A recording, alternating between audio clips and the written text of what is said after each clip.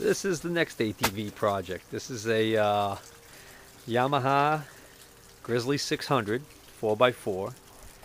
I uh, don't know what year it is yet, but uh, again, picked it up for short money and for good reason. It's got some serious issues. Uh, cosmetically, it's not that bad. If I had to guess on the year, I'd say it's probably around an 02. I did a little bit of research on these a while back when I first got it and kind of figured out that it's probably an O2 somewhere in that vicinity.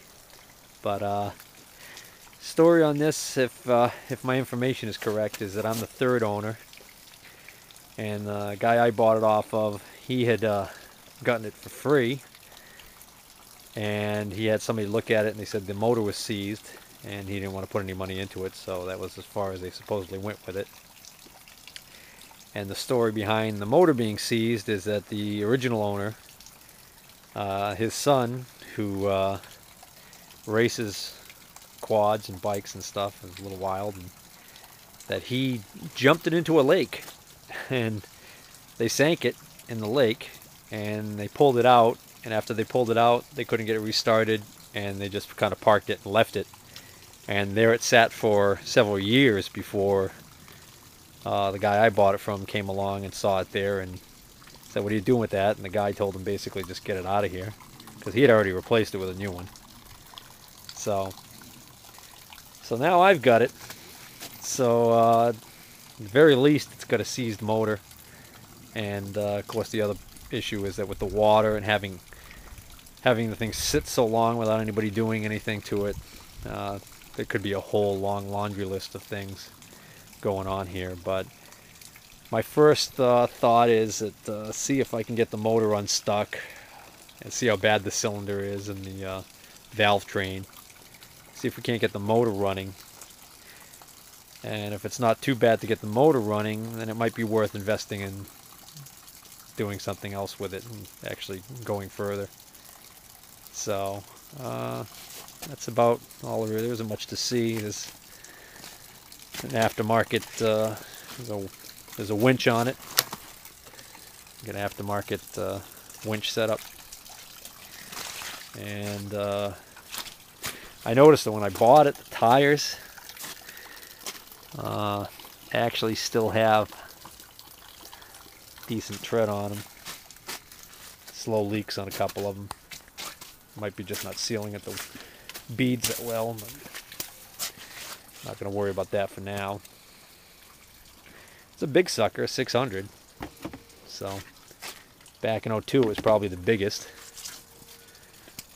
And uh, people who originally owned this probably were the type of people who bought the big, biggest, baddest, and best. So uh, got a little makeshift here. This is falling down. They got a little held up with a little piece of wire mono shock set up in the back, which it's interesting for such a big quad. Of course, electrics, who knows how they are, being that this thing got so wet. Uh, it's got a push button on off, two-wheel drive, four-wheel drive, speedometer, key still with it. So, all right, so uh, February 18th, 2011, and it is unbelievably warm today. It is actually, uh, they projected a high of possibly even uh, 58 today, and it feels almost like it's that now. I'm actually out here with a jacket on, but I don't even need it. And the snow is melting like crazy. We got a ton of snow here, and it's just melting. And uh, noise you hear in the background is the water coming off the roof. All that snow on the roof is melting like crazy. So anyways, what I'm going to do today, because the weather's so nice, I dug this out. Over the past couple days of warm weather, I dug it out. But the weather's scheduled to turn back to freezing cold tomorrow. So we're going to go from one extreme to the other. So I wanted to dig this out today and see if I can't start poking around with a little bit before the uh, weather turns bad again. Because we're far from over with, far from through with winter here. And uh, so first order of business is going to be to remove all the plastics. and the racks. That's going to be uh, my first step here so that I can get to this um, get to this motor. I read online in a uh, service manual disassembly procedures got the basic gist of it one of the things that I was glad to see was it did talk about that a lot of the engine service or service to the motor that you would do on this model. You don't have to remove the motor to do it so you could keep it in the frame.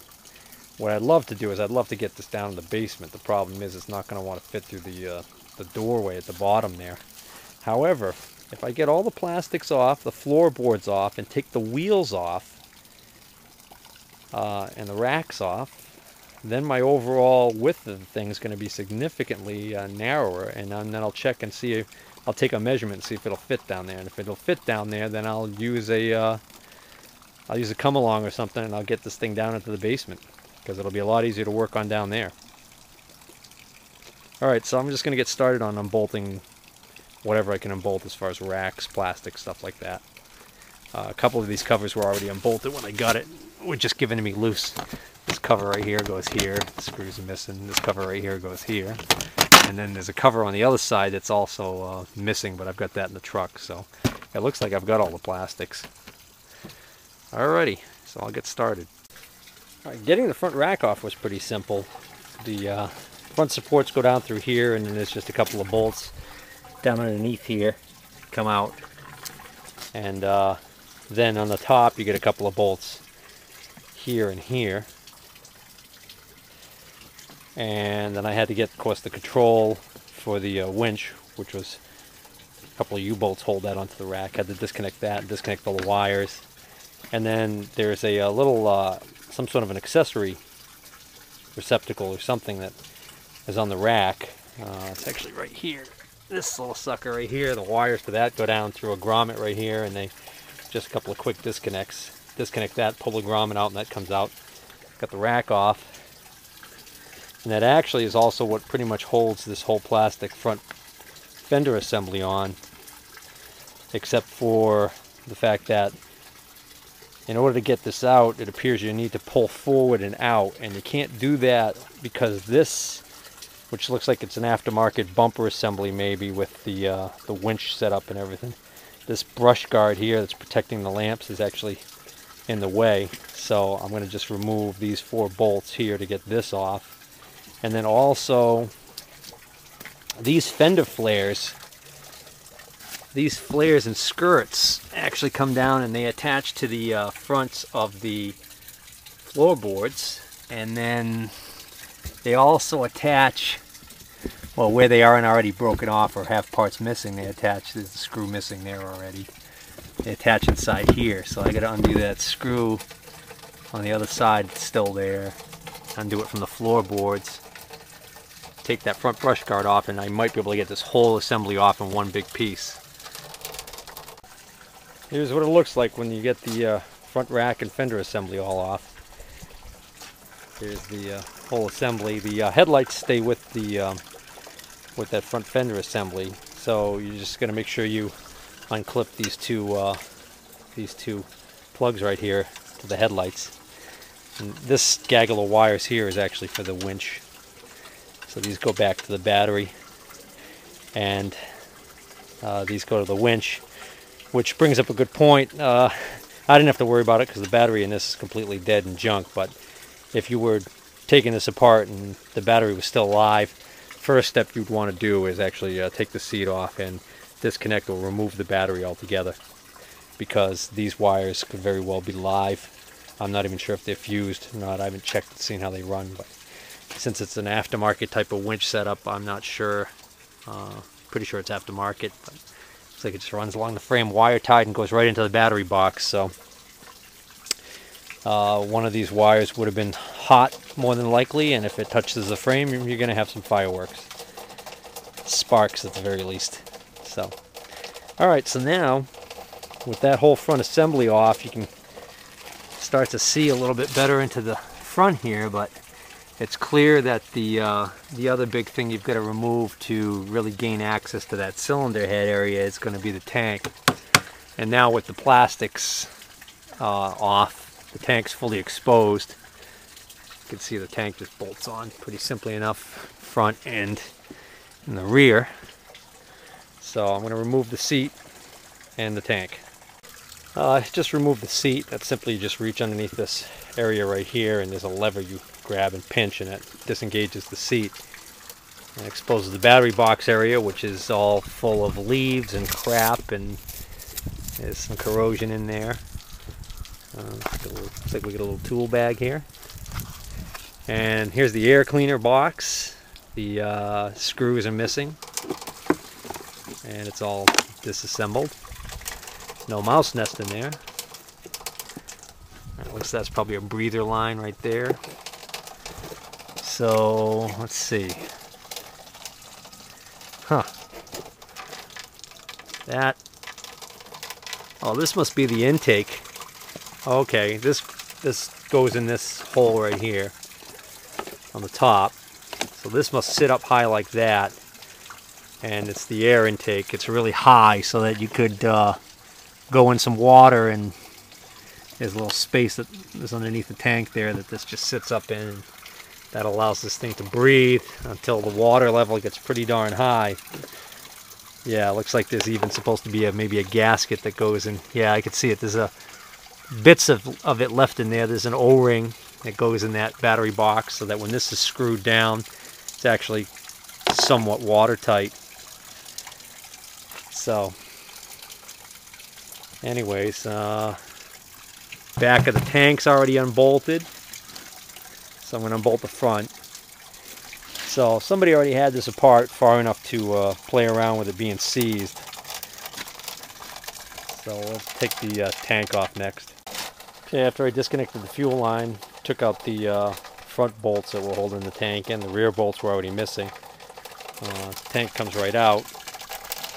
And then uh, there's this rubber like diaphragm thing here. Sits, uh, covers up the top of the carburetor and the top of the motor.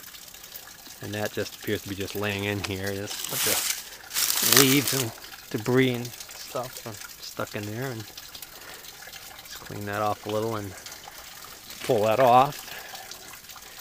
And that gets us to the uh, oh, top motor mount right here. And then I can see where if you disconnect that motor mount bolt and then these four bolts right here, you can take this part, this cross brace right out.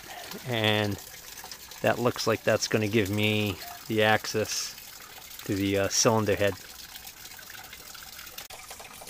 Well, now would be a good time to mention that the spark plug is missing. Uh, I had actually noticed that when I first picked it up and the boot was just hanging down, so I thought I was hoping that it was just disconnected, but it's actually missing. So who knows how long ago somebody took that spark plug out and how long that hole's just been open to the cylinder, although it was already seized anyways. My guess would be that somebody probably uh, initially tried to pump the water out when it was first dunked in the lake or at some point later, maybe they had the spark plug out and were putting some penetrating lubricant or some solvent in there to try and see if they could break it free. I haven't tried putting a wrench or anything on the crankshaft to see how bad it's stuck, but the pull starter doesn't want to move at all. So it's pretty seized. Uh, now for a quick anatomy lesson on this beast. Uh, basically what you're looking at is this part right here that I've got my hand on this is actually a valve cover. Um, and uh, right here, this line right here is where this mates to the top of the cylinder head. So there's a gasket there and actually you can see RTV sticking out of it. That actually looks factory original, uh, judging from the age of the uh, sealant that's on there. So that's a good sign that this hasn't been really apart. I'd rather have it this way than have it somebody monkeyed with it.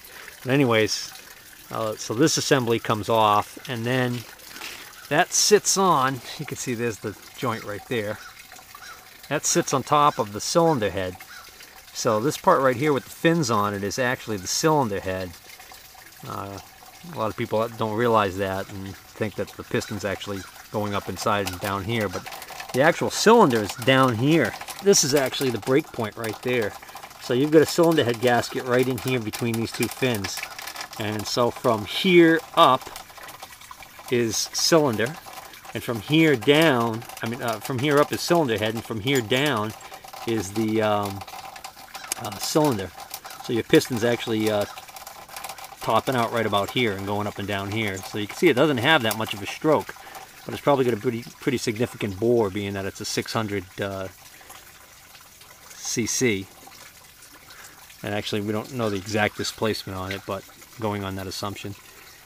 And so, in order to get this apart, the bolts that would hold the cylinder head are going to be much uh, beefier. At least I would assume they'd be beefier than these little suckers right here. So probably the first step is to remove this valve cover and then that will probably expose some bolts that are inside underneath this cover that actually hold the bolt, the uh, cylinder head on. And then the other issue of course is that you've got to disconnect the exhaust pipes and the um, uh, intake manifold here. And uh, that being said, I guess what I'll do is I'll see if I can't find the proper size drive for these Allen head screws on the top here and pop that cover off. Removing this top motor mount's pretty easy. Uh, you got four 12 millimeter bolts that bolted down to here and then you get this big 14 millimeter bolt, long bolt that attaches it to the top of the motor and then there's a uh, little wire clip right here that basically holds the uh, throttle cable up in this position so I guess it won't sag down in there. And then uh, speaking of throttle cables I just noticed that the side cover for the throttle is on the carburetor is missing. And kind of think of it the uh, throttle's not working. Actually now that I look at it that looks like it's an yeah that's fully wide open. So that carb throttle butterfly was just stuck. Ooh, talk about yeah that carb is going to definitely need some serious attention. Hopefully I'll be able to clean it and rebuild it. Okay, these little bolts are uh, 5 millimeter. Luckily, I have a 5 millimeter for my uh, ratchet. And um, some of them, uh, they've come out and they've been pretty badly corroded. These are the ones at the perimeter here. I'm assuming this gasket material actually goes on the other side of these, so these don't really see any uh, oil. These other long ones here on the side here, they're coming out, they've got a film of oil on them, which I'm kind of glad to see. Um, it indicate to me that there was still some oil up here in the top end and that it actually saw some lubrication so maybe I won't see uh, too much corrosion inside here but I've got to finish taking them out the other reason I wanted to stop at this point was to also uh, let anybody know that uh, right down here in this little well where I've got my finger there's there's a bolt there and it's kind of hidden so you want to definitely make sure you hit that one or you're gonna never uh, get this off Okay, some of these bolts are uh, pretty short, like that one there. And then some of them are long, like this one out here. See, that's really long. So, uh, what I'm going to do is I'm not going to worry about which ones go where right now. That's a medium-sized one. Because I'm going to look at the parts breakdown. And that's going to tell me which ones, which size bolts go where later during reassembly. So for right now, I'm just going to take them all out and put them in a container for safekeeping. Okay, I took all the bolts out I tried removing this. Uh, I figured it'd be stuck on there because of the RTV sealant, but I gave it some uh, some love taps with a dead blow mallet to make sure I didn't damage anything and realized that it's not coming so I decided to go through and methodically double check and see if I can't see if I've missed anything and then I noticed this 5 millimeter small little bolt that matches all the other ones on the side here actually looks like it's attaching this uh, this little piece right here that sticks up from the uh, from the cylinder head to the uh, to the cover there. So that little five millimeter right there is gonna have to come out. And then if that still doesn't break free then I'm going to uh, remove this inspection cover and see if there's something hidden in there. Right here there's an inspection cover. Well, to get the uh, ratchet in there, I actually got the ratchet to slip in there, just barely clearing this uh, pipe assembly here. And then, uh, unfortunately, the ratchet was in the wrong uh, direction. It was in tight instead of loosen and now when I try and get it out I can't get it out because that's how tight this was in there. So I should have just done what I'm going to do now. I should have just did this in the first place. I'm going to remove this bolt so I can loosen this assembly this tube assembly right here. It's like a Y pipe thing goes into a down into this part of the motor here and then it goes also down the front here. And then it just kind of ends up over here. But uh, I'll have to check that out see if I can't find out a little bit more about how that's supposed to work. Okay tapping on it and gently prying. I got the uh, front cover to start to lift up just a, about a 16th of an inch if that. But the back doesn't want to come off at all. It still seems pretty darn tight. So I think there might be still something retaining it back here. So I'm gonna take off this inspection plate and see what I can see. Okay, underneath this inspection plate uh, or inspection cover, what we've got is we've got the uh, the valve lash, uh, valve clearance adjustments for the intake valves. Uh, the reason why I know they're the intake valves is because the intake's right here. So, um, and then these two covers here are probably your exhaust valve clearance ports. Uh, take those out probably to, to adjust the uh, valve lash on the uh, exhaust valve. And then, of course, uh, as I suspected, right underneath this inspection cover, there is your secret bolt that's holding on the back here. So it's a good thing I didn't force this. Um, so I'm going to take that bolt out. Um, not too I mean, it looks pretty clean in there. Doesn't look too bad. The actual head of the bolt itself here is pretty badly rusted, but the other stuff that's in here is still some oil in there, which is good. And there we go. That last bolt was the key to getting this cover off. Uh, things look good inside this cover. Nice and clean. I see oil. I don't see any scoring on the uh, journals here where the camshaft rides. This is an overhead cam engine. Anyways, the uh, camshaft sits right here. It's driven by this chain. The chain goes down inside the motor and uh, rotates the camshaft. Camshaft, as it turns around, these lobes will press on these little rocker arms that you see inside here. Um, they actually just pivot up and down. So you can see this part right here rides on the uh, camshaft lobe. And then that causes us to pivot back and forth. And then those press down on the tops of the valve stems right here. And then the springs obviously are what makes the uh, valve want to close back up after it's pressed open. And then the rocker moves back and then the spring makes it come back up. So these are your intake valves. These are your exhaust valves. This is um, a four valve engine even though it's a single cylinder. And it's uh, got two intake ports and two exhaust ports. So these right here, one, two, three, four, these are your four cylinder heads, bolts. And uh, this little thing that I unscrewed the, the, um, the little tiny bolt out of it, turns out that that's just a plug that comes out and that's seals with an O-ring. So I'm going to take that out now so it doesn't fall out and get lost later. So I could uh, take the four bolts out and then try and remove the cylinder head, but there's a few other steps I've got to do first. I've got to uh, disconnect that chain off of the camshaft because uh, I'm not going to be able to lift this up with that attached. Also, I've got to disconnect my uh, intake port here on the carburetor and I've got to disconnect my two exhaust pipes from the uh, exhaust ports on the uh, head. So now I'm going to move away from messing with the cylinder head and work on getting this uh, intake manifold off. Get the manifold off, I'm going to have to pull the carburetor anyways. The carburetor obviously needs to be cleaned. It's all gummed up at the very least. I'm hoping it's not corroded. And then uh, to get the carburetor out, really to make that easier, it's going to be a matter of taking this boot off, which to get that out, it's a matter of taking the airbox out. So I'm to start with taking the airbox out and then removing the carburetor and then I'll get this intake manifold off the head. Or I might I, I might even just leave that on there uh, until I get the head off of the machine. We'll see. Okay, I've removed the air box, three bolts, and loosened the clamp right here, and that comes right off the carburetor. Then loosen the other clamp on the carburetor, and you can pop the carburetor off the intake manifold. You unscrew this plastic nut that actually threads right into the side here, and this is your choke. Assembly comes right out. This is very similar to the Arctic Cat 454 carburetor setup. Uh, it's got a diaphragm underneath here and a slide, and your main needle jet right there.